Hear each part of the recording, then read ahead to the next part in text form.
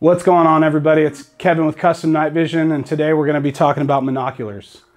In this video we're going to cover a few options we have available, different applications for these options, their features and accessories. The first option I want to talk about is the gold standard night vision, the PVS 14. Almost everybody's seen one of these. They've been issued throughout the military for you know almost two decades. They're extremely durable. They have a lot of features and they're you know, relatively affordable. Uh, it's kind of considered the entry-level night vision device for most people, but I mean, this can do everything that, um, you know, $10, $12,000 binocular night vision systems can do, all in this one little package. It's very versatile. Um, this Carson PVS 14 is powered by a CR123 battery. It has a single CR123 battery in it. It has adjustable gain, an onboard IR illuminator, um, and it weighs uh, 355 grams with the Carson glass installed. Uh, through custom night vision, because we have our night vision builder, you can go pick a tube, uh, whatever spec or manufacturer you like, and have it installed in one of these. And then you have the option to upgrade to RPO glass. With the RPO glass, the Carson PVS 14 housing weighs 325 grams. And we actually have an additional Nightline battery pack that you can add as an accessory that replaces the Carson uh, power supply. Great option. You know, these have been all over the world. Historically, I would say you can't beat these, but there's another option I want to talk about that, that may. This is the Nocturn Tanto. These kind of give up a few features that you get with a Carson PVS 14, but pick up a lot of weight savings. Uh, this housing with Carson glass is 248 grams versus 355. And with RPO glass, it is 220 grams. So it's extremely lightweight, it's very durable. It's 3D printed in the same way that the Katana is 3D printed. So if you're curious about that, we did kind of an in-depth video on um, really all the binocular housings, but we talked a lot about the Katana and how it's made. So go check that out. Kind of the things that set these apart. The Tanto does not have an IR illuminator and it only uses uh, fixed gain style tubes.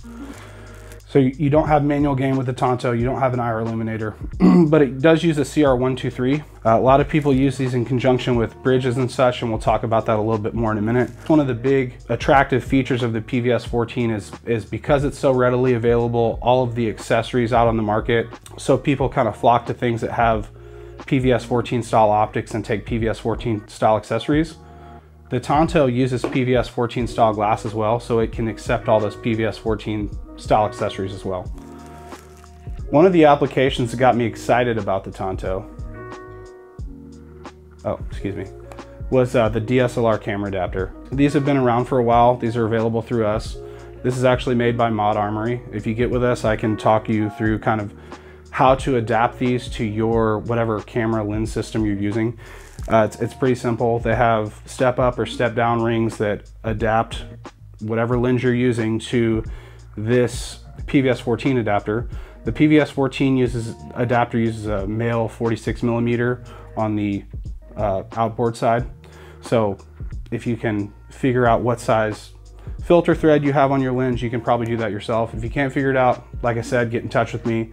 We will uh, help you get all the pieces that you need to adapt your PVS 14 or Tanto to your camera. Again, what got me so excited about the Tanto is its overall lightweight package really made this a viable option for me. Before using a PVS 14 on the end of like a zoom lens like this, even be it a smaller zoom lens, was just kind of too much. But because the Tanto with RPO glass is so light, it's kind of become a more viable option. Uh, here at Custom Night Vision, we do a lot of uh, photo video work, shooting in the dark, demos with night vision. So obviously this is invaluable. We'll be uploading some content with this setup uh, using different lenses, obviously. Keep a lookout on our YouTube channel. We'll be putting some pretty cool videos up using this. In a second, we're gonna switch over to another camera with um, one of these hooked up. So, uh, oh, we're gonna cut the lights off and then we'll switch it over. So Welcome to Night Vision Land. What you're seeing now is a good representation of what night vision looks like through a DSLR with the adapter. Um, currently this camera is using a 50 millimeter lens It is a Sony a7S with a Tanto RPO glass and a filmless L3 tube. It's uh, roughly 2400 FOM, low EBI. Uh, just to kind of give you an idea of where that particular tube's at in relation to the image that you're seeing. But it is super impressive. Um, obviously, as you pair those with different lenses, you're gonna get a different outcome. But, you know, keep that in mind. Um, yeah, that's freaking cool with video and pictures. Uh, little tip, set your camera to manual focus when you're doing video because a lot of the camera's sensors can't reconcile the back of the uh, phosphor screen through the lens. It kind of confuses them. Took me a while to figure out that if I put the camera in manual focus, I can get a really good image and it's stable. Um, obviously, you're gonna have to adjust the objective like normal, but this is the closest representation that I've found um, for recording through night vision that looks something like what you actually see with your eye. So yeah, cool option.